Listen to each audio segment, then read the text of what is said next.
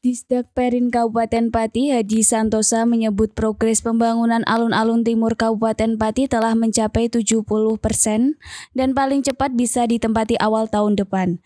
Rencananya alun-alun ini mampu menampung 360 lapak PKL. Hadi mengungkapkan alun-alun timur ini nantinya akan ditempati para PKL X Simpang 5 dan PKL X Jalan Sudirman yang sebelumnya direlokasi ke wilayah pusat wisata kuliner tempat pelelangan kayu. Diketahui Diketahui pendirian lapak dan bangunan semi permanen di area TPK statusnya sewa dan berakhir pada akhir 2021.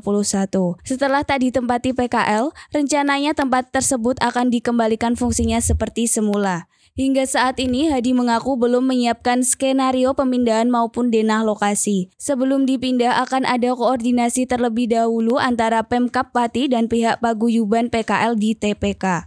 Sebelumnya diberitahukan, untuk biaya pembangunan sendiri disebutkan sebesar 8,140 miliar rupiah, sedangkan jika mengaju pada Pagu, besaran pembangunan mencapai 9,798 miliar rupiah.